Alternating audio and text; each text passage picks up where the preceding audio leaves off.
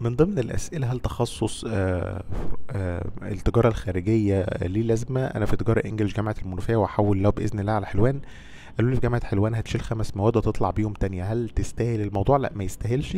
ليه؟ لأنك اوريدي في تجارة إنجلش وهتدرس حاجات خاصة بالاقتصاد.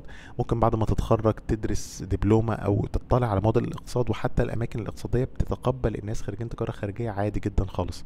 فنصيحتي بلاش إنك ترهق نفسك أو تحول مش مستاهلة كمان هتشيل خمس مواد وهتتغرب وكلام كتير.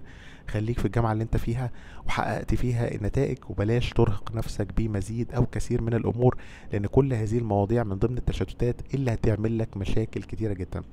دول بيشتغلوا دول بيشتغلوا. ركز في الكلية بتاعتك. لو انت مهتم بمجال الاقتصاد ومش موجود عندك ادرس دبلوم بعد التخرج ولكن بلاش تشتت نفسك في هذا الموضوع.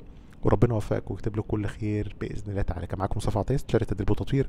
لا تنسوا الاشتراك في القناة والإعجاب بالفيديو والمتابعه كل جديد. واكتبوا لنا في التعليقات يا ترى تنصحوا الشخص ده إنه يحول ولا لأ في التعليقات.